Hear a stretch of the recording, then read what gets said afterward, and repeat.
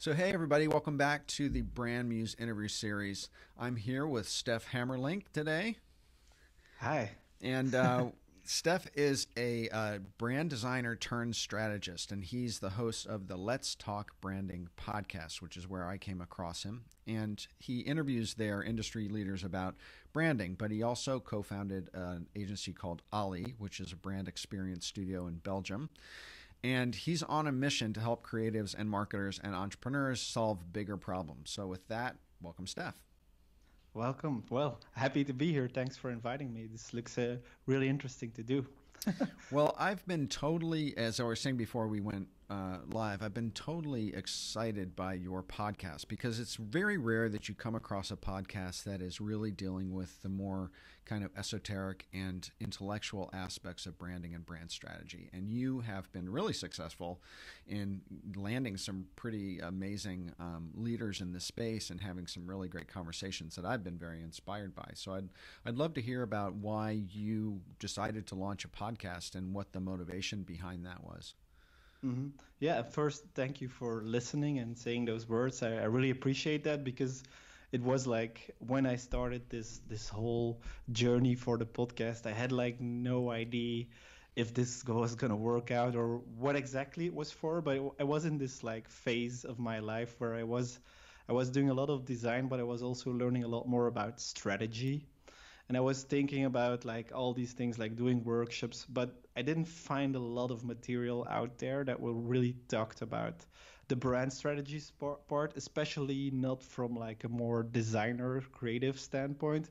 There's a lot of content when it comes to marketing, but not a lot of content coming from like designers becoming strategists and how to define a brand and so on. So I, I wanted to just start learning about this strategy and start talking to these people, to these heroes I have. I, I read like the books from Marty Neumeier and I love Marty, of course. So I just decided let's do this on a podcast. Let's invite all these people and start learning from them and start like seeing what the different opinions are and how I can actually try to take that to my day job in, in the studio and actually try to implement that. And it really started growing, growing, and and I tried to have like different topics, but it's yeah, it's been really interesting for me. It's been an awesome journey so far, and I don't know where this is headed, but it's just so cool to to be able to talk to all these people. That's just amazing. So when you call yourself a brand designer turned strategist, there's obviously an evolution there, and that's something I actually talk a lot about on on my YouTube channel and on my podcast. Is that um, you know, we have to up our game as creative professionals these days because of the commoditization that's going on in the creative space globally. And I'd love to hear about your transition in going from a brand designer to strategy and adding on that skill set. Why did mm-hmm. you do it and what's it been like? Yeah, well, it was interesting. I do think it was kind of like this natural evolution because I was always this person, even when I was doing design, I was always asking these annoying questions to, to clients like, why would you really need this? And maybe, and what's the story behind it? I, I kind of felt frustrated just doing design. That's maybe just because I'm wired this way. I, I love to I love reading about philosophy and, and all this stuff. So I do have a tendency towards this meta level. So that was something that was there.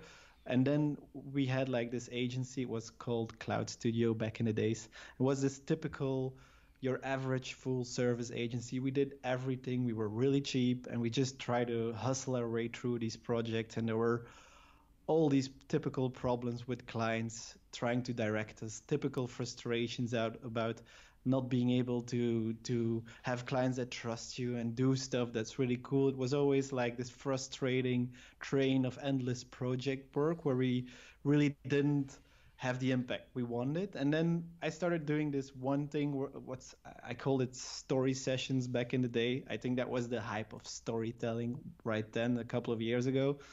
And then these story sessions, we saw like how clients actually they really loved that. And they, they were like yeah you're really helping me on another level and we're really talking about this story about this brand.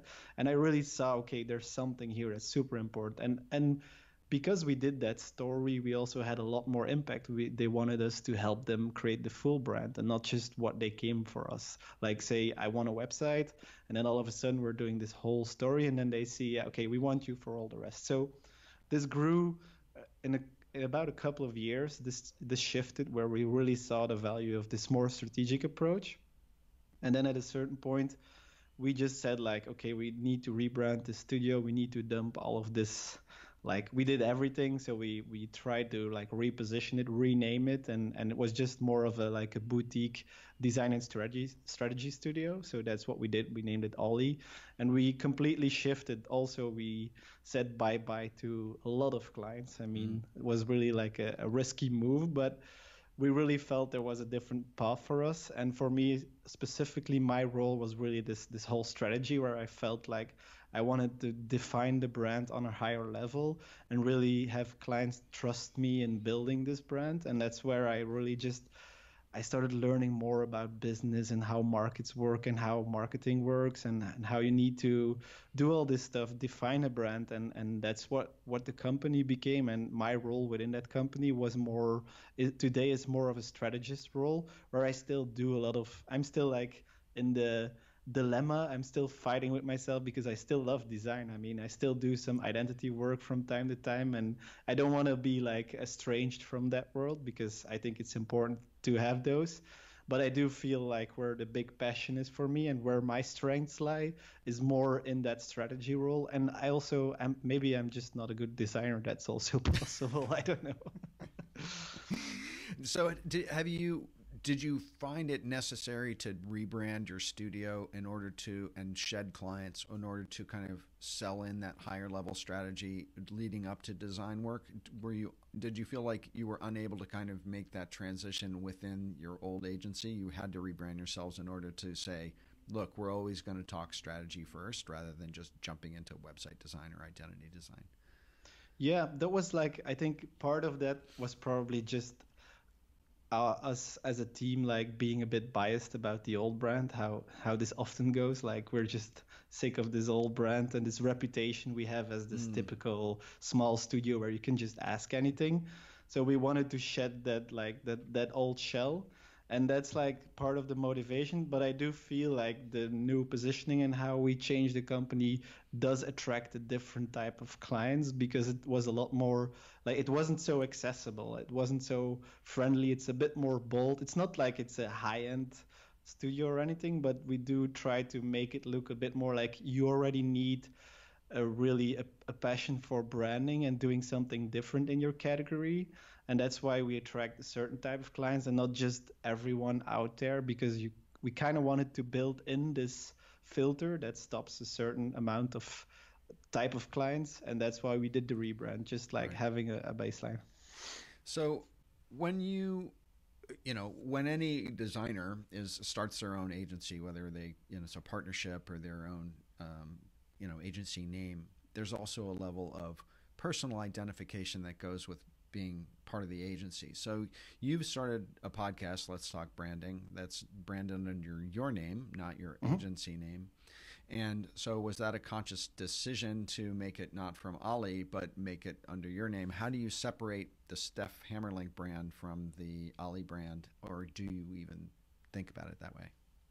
It's it's tricky. I mean, I just started this as like a, a side journey, something after hours, and it kind of evolved and I, I do see today like there's some a lot a lot more overlap happening where like clients are starting to listen to the podcast and there's some some like synergies going on which is interesting because it wasn't originally something where we said like from the agency we're gonna create this podcast. It was more just me going on a tangent and today, that's something actually like right. I just came from this workshop where we actually were thinking about how we're going to fit in this personal brand with this Let's Talk branding, and it's it's still a work in progress. I mean, there's definitely a lot of synergy going on. I mean, it's it's some kind of proof as well for clients that you have this podcast and all of these things going on but I don't I'm not there yet in terms of like how does do they overlap and where's like maybe could we have done it differently probably but it's it's it's an interesting ride to see how it evolves.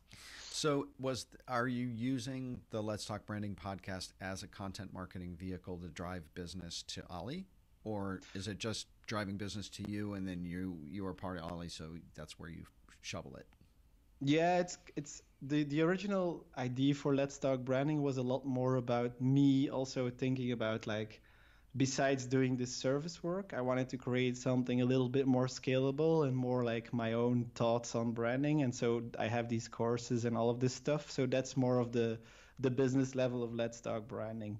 But there's more of like this this this thing that happens it's like overspill where there is of course some kind of synergy going on but it's not consciously where i'm driving leads towards. Ollie that's not really the case. Do you do any other kind of you say you have courses what other kind of um, content marketing or um, products digital products do you have for yourself Mm-hmm. Well, on Let's Talk Branding, like the main thing is of course the podcast. That's that's the the big channel, and then there's all of these social media hanging around that, like LinkedIn. I do a lot of just like small, more opinion, opinionated pieces. Um, I also have a YouTube channel, but that's something that's like in the fridge, so don't go look at it. and then I have these I have these courses. I of course have the website where I do a lot of blogging. Uh, and I do some like I, I did some small ebooks and stuff, but it's mainly like the podcast is the main channel, and then the courses is like the main uh, business around that. Cool. So, where would you say your you know, what do you love most? What are you most inspired by? Hmm, it's a good question. I think I get really excited by first off like just talking to these people that challenge me on a, on an intellectual level. That's like something where I get really excited about, where I feel like I'm not quite grasping it yet, but I can feel something changing in my mind.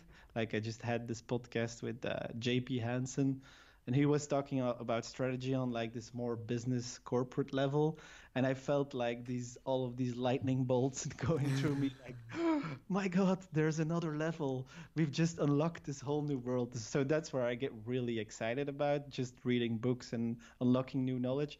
And then the other part is really working with clients and really like finding this direction that's really that has a great potential and developing that and seeing that come to life into a, a real brand that's something i get super excited about yeah, I mean, one of the things that I've done in my agency, I having I had a long corporate and global agency career, and I I I've done a lot of branding and strategy for the huge corporations, you know, the mm-hmm. Chevrons oh. and PepsiCo's and stuff like that.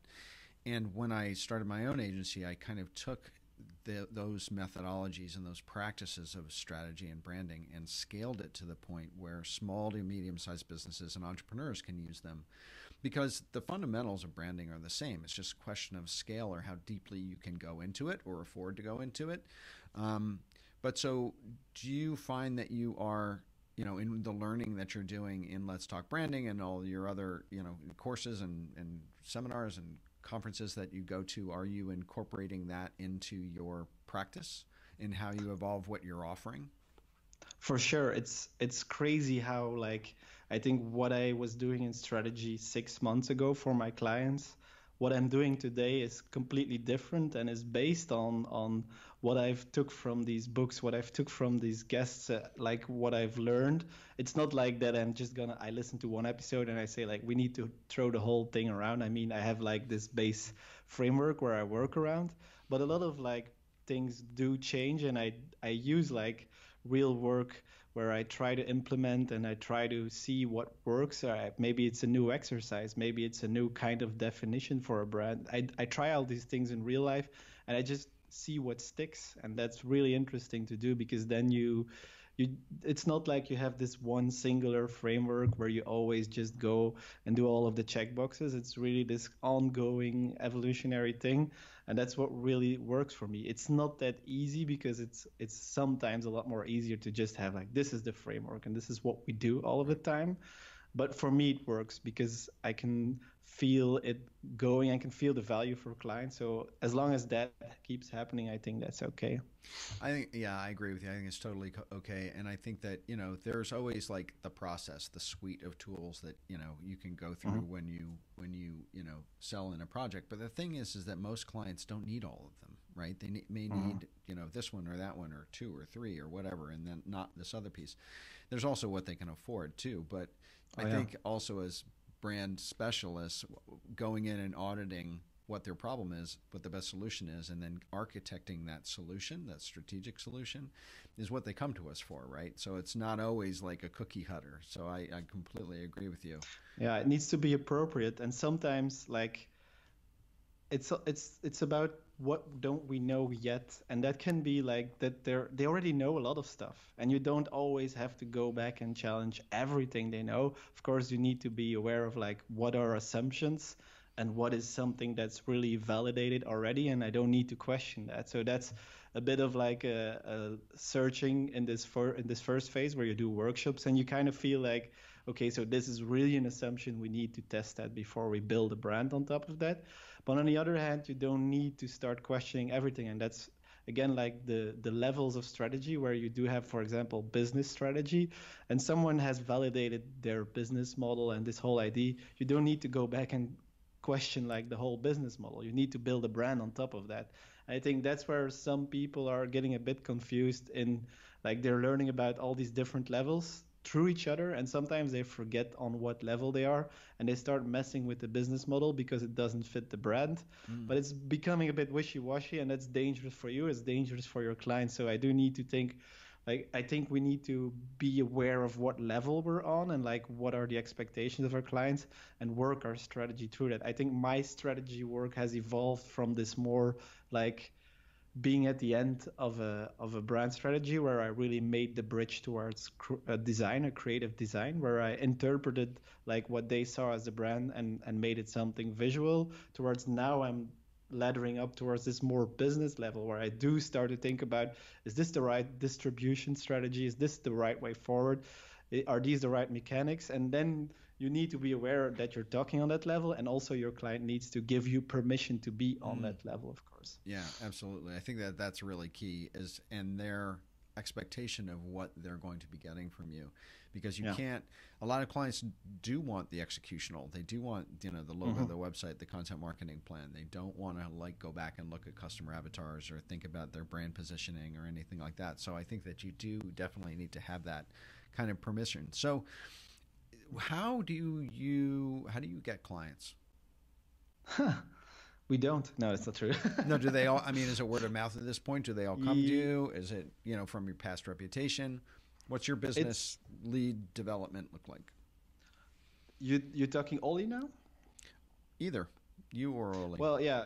Well, I think for Let's Talk Branding, it's it's definitely the podcast. It's like uh, I think that's where a lot of like people listening transfer to buying my courses. So that's I think the the most prominent way of generating leads. And then just I think as always, like in in this type of brand where it's really about content it's just about generating a lot of value through articles and helping people and being out there and doing talks all of this stuff thought leadership whatever we want to call it that's what generates leads to like my my personal brand and, and, and let's talk branding for Ollie it's definitely been more word of mouth but we do feel like right now we're working on this more layer on top of that where, where we don't want to do a little bit more talks and boot camps and events and stuff that's really more again about thought leadership on how to do strategy and how to create a brand experience because we do feel like at a certain point when you're really at another level in terms of pricing and how you want to affect the business it's not always the best thing to have like this network where there's a lot of like a little bit more low value clients or they don't have these budgets or they're already in a different stage. So that's something we're, we're working on right now. That's why we also like just like started to rebrand rebrand a little bit. I mean, we, we started calling ourselves a brand experience studio and we really want to own that part and create some thought leadership about that. So that's but mainly like if you would divide it right now today, it's probably gonna be 70% word of mouth, 30% just through online uh, awareness and, and like for example my colleague Jill he's a really great designer and he has like a huge amount of followers on Dribbble. So that's also where a lot of like more talent hunters and people from agencies or in-house are looking for talent, and then they find him, and then they come to us. So that's also a, a big part of it. So okay, so your partner has kind of a personal brand going as well. So they both they both end up kind of filtering in. Yeah, well, it's a it's a we're a four four people four. team, and, and okay. one of the designers is uh, like he has a really big personal brand as well. Yeah. Okay. Um, so you you mentioned that you have video courses. How did you decide what courses to do? yeah, it's it's kind of funny. I thought like, what what course would I need? Like, would I need when I was here like six months ago? What would have benefited me to become like this first layer brand strategist, where I just understand like the questions I need to ask, like how to do a workshop. This really this this just initial thing and that's why I thought like I just need a course around I, I call it activating your strategic brain. It's just like opening these doors to what strategy is and just understanding brand strategy at its most basic core. And that's what I wanted to create. And that's what my first course was about. And, and then I just broke it down into smaller courses about how to do a workshop and stuff like that. But I really like that was interesting to me to create a course while I was learning because it was kind of like um, I was just around the corner. Like I just learned this stuff and mm-hmm. I'm or I'm processing it and I'm bundling it and I'm making and that's actually like the best way for yourself to really internalize what you've learned because you you need to make it like comprehensible for somebody else. And so this course even like if it didn't have the huge sales impact or whatever, it still was super valuable for me just in terms of like writing stuff down that I understood. And if I can look back at it now, I see what I've already learned, and, and that's really interesting. And I didn't I don't I'm doing a lot of coaching with like the people that done that have bought my course, and that's really cool because they start evolving and they start going through this level where they're doing a lot more higher end stuff and it's really fun to see like they're always just behind me. Well not behind me but i mean they're just learning behind me what i've been learning right now. So it's really interesting. I think that's a really great point that you bring up too. And i think that that's really really important for people who are just starting off and not you know later in their careers like you or I to to remember and think about. Because I when I talk about content marketing people a lot of them say you know I'm just starting off. I don't really know that much or I don't have anything to share. I don't you know can't do content marketing. And I'm like if you are out of junior high school and you've learned how to use Illustrator, you've learned, you know, the basics of typography or, you know, you have something to share. Like there's always mm-hmm. someone who's a step or two behind you and who's looking for someone like you to teach them what you just learned.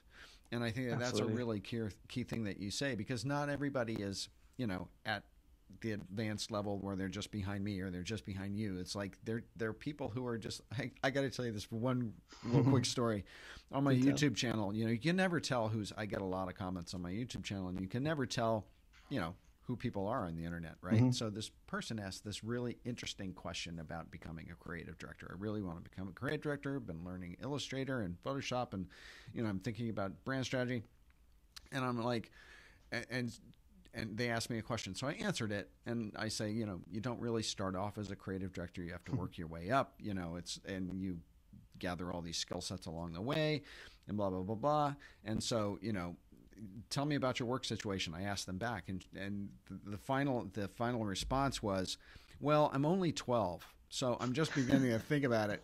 And I was like, oh my God. Number one, I was just amazed at how incredibly articulate this person was at 12.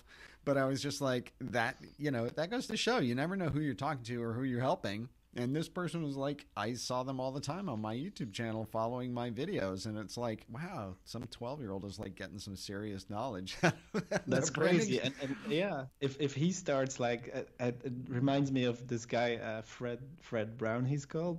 Like he, he, he reached out to me and he said like, can we talk? And, and we did a little video conversation. And I think he was also 16 or 18. I might be wrong, but he's really young.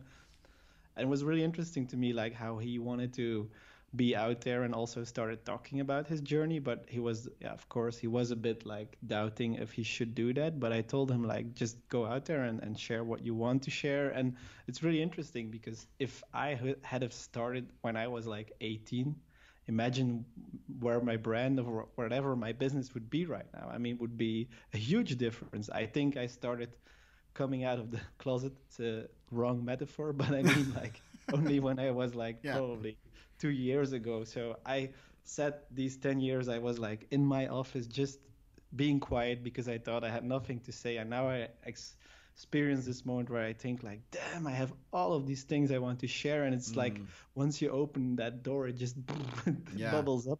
And why not start early? I mean, I do think one thing, one thing to note is be humble. I mean, I do see quite a bit of people on Instagram and LinkedIn sharing all of this content that one they probably just like a bit copied like about like brand strategy is this and that. And i do feel like hold on a little bit like share the little things that that you're sure of instead of like sharing the far away stuff that you still need to understand. That's my only like critical note towards like what you want to share when you're young is like be a little bit humble about what you know and don't be like the next Chris Do uh, immediately. I mean, you have time. Like that's my only side note on that. Well, I think that that's really admirable about how you're positioning yourself on your podcast is because you are really transparent that way, and you are saying, "Look, some of this stuff I'm just learning, and I'm a recent convert to the power of strategy, and I'm sharing what I'm learning as I'm going along, and through these people I'm interviewing." So I, I find that super admirable.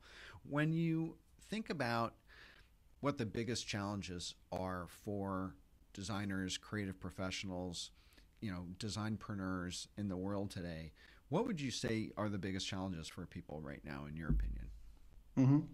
I think one of the biggest challenges is probably communicating our value, and and that's on different levels. I mean, a lot of people in design kind of understand strategy without knowing that they're doing strategy, but they they like they don't first off, they don't see the value, and if they do see the value, it's not always that easy to translate that to clients. And I think right now we're in a space where a lot of like different fields, like marketing, for example, it's really about business objectives. It's about ROI. It's about KPIs. It's about all these things where it's really measurable. And brand is like one of those things that's. Uh, I'm talking specifically about brand, of course, but creativity in general is like it's a bit harder to measure and there are some things that are a bit more like soft or long term in what we do and communicating that value and realizing that value is really difficult because sometimes you float between like yeah i just did this i don't know this beautiful logo but actually nobody cares. And then you float on the other hand like i help this organization realize who they are and how they're going to be for the next 5 years and that's huge. Like and it can be like constantly floating in between those two and that's partly imposter syndrome as being like this person that's not sure that you have the value but then on the other hand it's also your clients not seeing what your value is or understanding what it is. So i do think there's a lot of trouble originating in, in that part of the like what we face so for someone who's having trouble with that in terms of um, you know their career and they're having trouble communicating to clients the the the importance of what they do. One of the things you mentioned on a podcast I was just listening to this morning, actually, what was really interesting was um, you were talking about um, user research and and um, and the the uh, the ROI of of brand development. And one of the things you mentioned was the internal power that that has how mm-hmm. you know doing a brand redesign or redesign of collateral marketing materials or pitch decks or whatever can really motivate the internal staff like the sales staff the you know the rank and file of a company not even just going like the customers or sales or you know anything that's real quantifiable but something mm-hmm. that's much more of a soft lift so to speak inside of a company itself. I thought that was really interesting perspective. Yeah, that's that's like and that's funny for me because I learned about for example value-based pricing and I I think like a year ago I went a bit overboard in the ter- in, in the sense that I felt like everything that was brand strategy or, or design related needed to be captured in return on investment business wise financially like how much are we really pushing the bottom line here and I still believe it's important to think about that. But what's really interesting to me is like I started taking a step back and seeing like there's these different circles of impact, and this this first circle is just like how you service your client, just like really basically like was he happy throughout this this service that's mm. already value? I mean you yeah like you took down his stress levels. He was really happy doing this. He felt great. Okay second level the organization like how do they feel about this? Sometimes you can really see this when you're doing a rebrand and and like the logo is there the identity is there. I've had like these presentations where there's there's whole company and you play this teaser with like cool music and everybody's like high-fiving and you you see like this is huge. I mean it's not that often that these moments happen in a company. I mean for a lot of people work is work it's 9 to 5 blah blah blah so that's like layer number 2 and then layer number 3 is like maybe it is about how customers perceive the brand and then maybe layer number 4 is like are we seeing an increase in sales? Are we seeing and then that's like if you see all of those circles like be happy with start at layer one go to layer two go to layer three but don't like immediately think about this logo should have like a 200% rise in sales. I mean that's not going to happen anyway so so like don't overestimate that part but also not underestimate just like the basics of it. And that's indeed what like something that struck to me. And even to build on that, like things like positioning and all of these things we do in strategy, we often like think again the end goal of positioning is that people understand the unique value of our business and the meaning behind the business. But really, what positioning at its most basic level is, and I'm going to steal this from JP, who I had on the podcast, was he said it's a time saver for a company. I mean, it's less discussions about where we want to go. It's less meetings. Less meetings saves you time, aligns the people. It's just like on the most basic level, if you can succeed in having a whole bunch of people having 50% less meetings because they all know what they want to do, that's like that's a the financial ROI is there. The the just like the happiness ROI of the culture of the company is there. So it's that's amazing. Like and then we can start thinking about positioning and, and how this infa- impacts the whole brand but like sometimes we forget these basic layers it's really important yeah i mean and it's like marching orders it's like if you have an army and you say cross this field you know if you don't line them up and put them in you know say follow the guy in hmm. front of you and keep two feet between you and the next guy beside you then you end up with like ants crawling all over the place, right? because they wouldn't know how to do it. And that's very much, I think, I agree with you. What branding is, is it's kind of creating a marching orders and, you know, creating lanes for people to go through. Because if you don't give them direction, internally, I'm talking about sales staff, you know, anyone who's mm-hmm. talking about the brand, if you don't give them that kind of clarity, they will do whatever they think is right and mm-hmm. you know everybody has their own agendas you know from the salespeople to the marketing people to production people and they'll talk about the brand in a different way so creating yeah. that kind of clarity you're right i mean it cuts off on duplicate work you know uh, channels crossing um, you know miscommunication like you said less meetings i mean all of that stuff it's amazing yeah, and I do think like that's important because I think oftentimes designers were so trained in thinking about like empathy and thinking about the end user. I mean that that's huge. I mean that's super important. That's like Marty Neumeier 101 where he says like a brand is a customer's gut feeling about a product or a brand. That's huge. But like if if the person in between you and the customer doesn't understand what feeling to communicate, then it won't matter. You can create the most amazing pitch deck, but then it just like it falls flat because nobody really got it in the organization. So that's something I try to focus on. Like, is there a platform in this organization for understanding and really driving on this this whole brand essence or whatever you want to call it? Because if there's not it's not going to matter how cool it sounds and how great customers might find it because it's not going to be communicated so i do think we tend to skip one one part of that sometimes so here's one question and i and i gave you a heads up so hopefully you were paying attention that it's a question I hit everybody that I interview with on my show, and that is Do you have a personal manifesto or some sort of mantra that you try to live your life by? I saw that question, and it's funny. Like, um, I think six months ago, I started thinking about this this idea of like what I wrote down about solve bigger problems, mm. and it kind of resonated with me on especially on a professional level, but it it also like resonates with how I think, how I'm wired. Like I, I remember when I was a kid, I was always thinking about like these bigger, bigger things or like bigger worlds or so it does like I really like this idea because it's always also like I, that's how I look at life. I'm a real I think I'm an optimist. my wife tells me I am, so I, I think I am.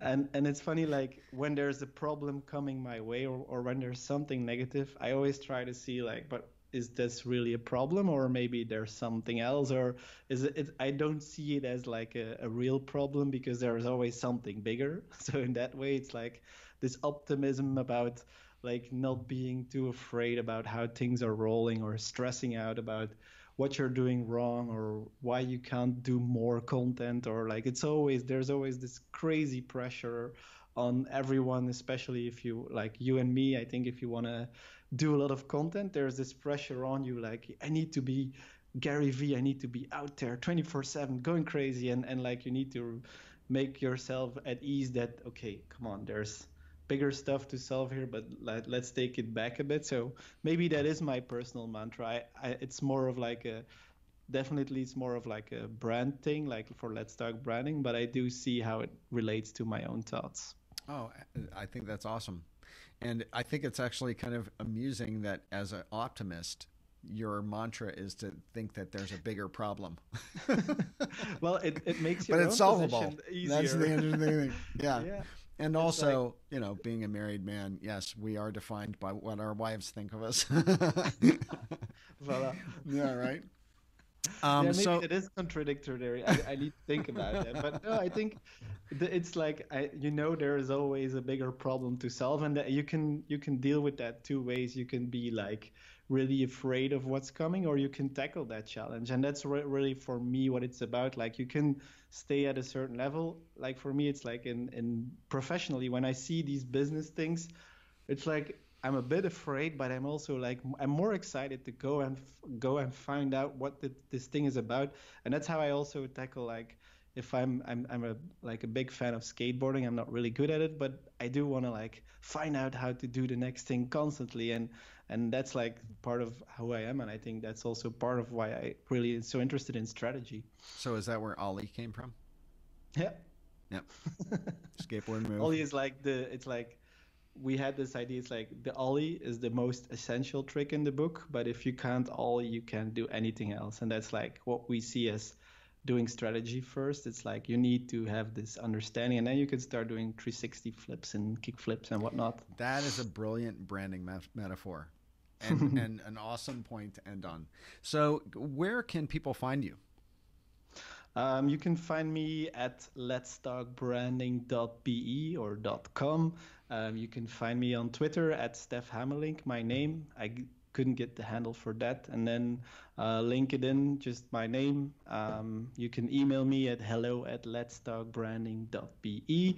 Uh, you can reach out. I also have a small Slack community if you want to talk a little bit more privately in like a smaller group. But uh, you can find all that stuff on letstalkbranding.be. And yeah, listen to the podcast. I mean, if you do one thing, I think that's the best thing because that's where people that are a lot smarter than me solve bigger problems. So there you go. Back to the bigger problem solving. Well, that's awesome, Stef. Stef Hamerlinck, thank you so much for joining us. Really appreciate your taking the time to talk to us today. Thank you. This was really, really fun. I mean, like I, I'm used to being on the other side doing the interview. this was a bit stressful, but it was really fun. So thanks All a right, lot. Great. Well, thanks a lot. We'll talk to you again, hopefully. I will. Bye.